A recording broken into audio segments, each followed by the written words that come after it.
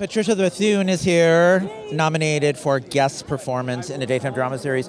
So she knows, like from the very beginning, I was really into Mary Pat. Yes, you were. You were. You were a big supporter when everyone else really hated me. I was a me. big supporter of, of awful Mary Pat. Yes, exactly. I was like, is she gonna? The more horrible things she does, I kept telling Patricia they're gonna keep you on the show. exactly, all the way up to them killing me. But I'm it was me. good Yeah, with a bobblehead. with the bobblehead.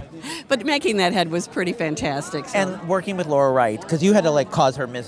You know, she was so generous too. The first day I had to hold her nose and force pills down her throat, and I said, "Are you all right with this?" She said, "Go for it." So it was like that for the whole time. Oh my God. She's are you are you amazing. ready for tonight? As ready as one can be. What can you do? Yeah, what can you do? Enjoy it. Yeah, you thank you. deserve it. Thank you, Mike. Wonderful to see you. Really good to see you too. Mwah. Mm, I, I love your new song, I love by it. the way. Oh, really lovely. thank you.